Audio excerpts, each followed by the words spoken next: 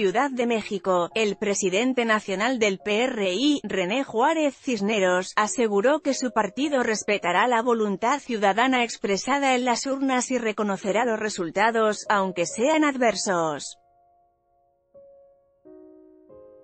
En conferencia de prensa en Campeche, René Juárez afirmó que el Partido Revolucionario Institucional, PRI, no será factor de división de la sociedad, donde nosotros ganemos. En democracia se gana por un voto, con las reglas de participación que nos dimos todos para todos, donde ganemos. Vamos a defender nuestras victorias con convicción, con determinación, planteó René Juárez.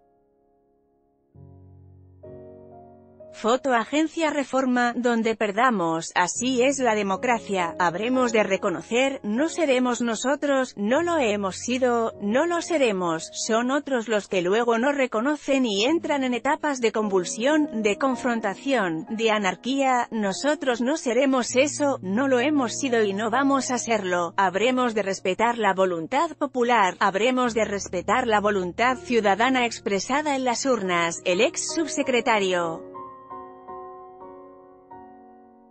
De Gobernación sostuvo que el partido le tiene un gran valor al país y lo cuidará. Nosotros siempre hemos sido garantes, proclives, hemos sido siempre impulsores del respeto a la ley, del respeto a la voluntad ciudadana. Nuestra vocación democrática está a lo largo de la historia perfectamente acreditada, asentó. A diez días de la jornada de votación, Juárez Cisneros reconoció que esta elección es competida, compleja e inédita.